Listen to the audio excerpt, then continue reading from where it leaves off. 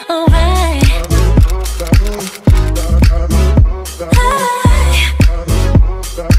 guys, so today I am making a bullet journal video for the month of March, so stay tuned for that. So the first page is my cover of my March spread. There are clouds, a sun, and the month of March.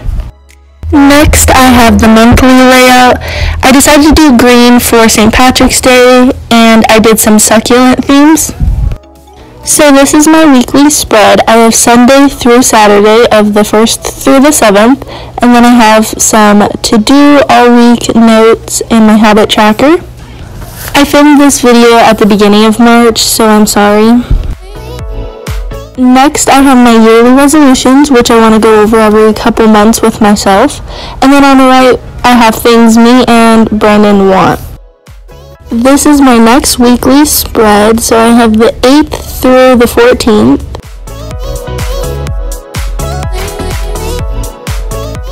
Next, I have my March videos. I also have my New Year's bucket list with Brandon. For my YouTube videos, I have Bride Box, Miss to Mrs. Box, Another Bride Box, Day in the Life of a Senior, Wedding Video, March Bullet Journal, Miss to Mrs., March Ipsy, and March Favorites.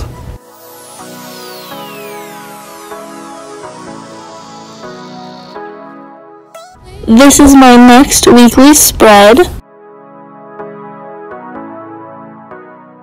I decided to add some wedding things into March, so I have wedding details like my wedding date, location, venue, time, all of my bridesmaids and the groomsmen.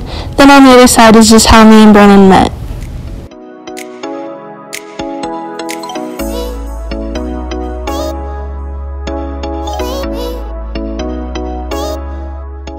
Lastly, I have my last weekly spread.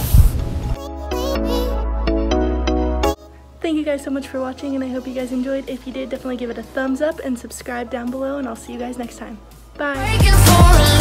time for you